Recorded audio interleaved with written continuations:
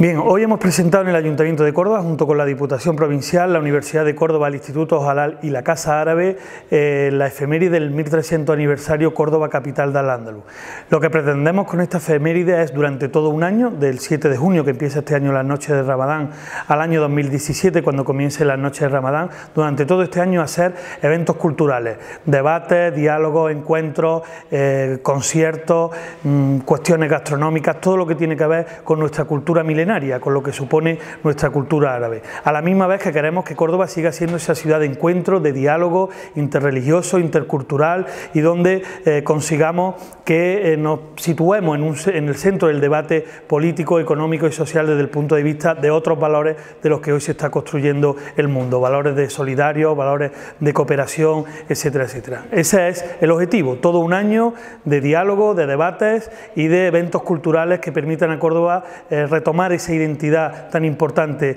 de lo que fue el mundo musulmán, de lo que fue el mundo árabe, ligado a lo que es la interreligiosidad y la interculturalidad.